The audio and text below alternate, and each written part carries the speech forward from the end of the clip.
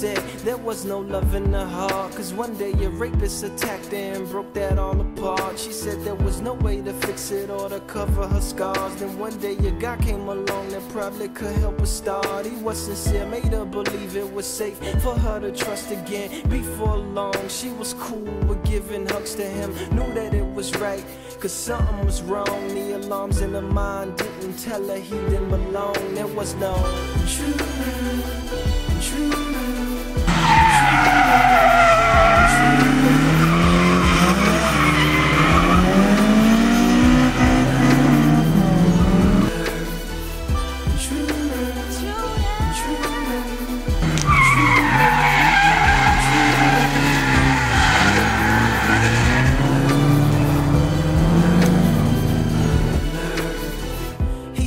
nobody else ever loved them, That's why he get high enough to go touch the heavens and broken.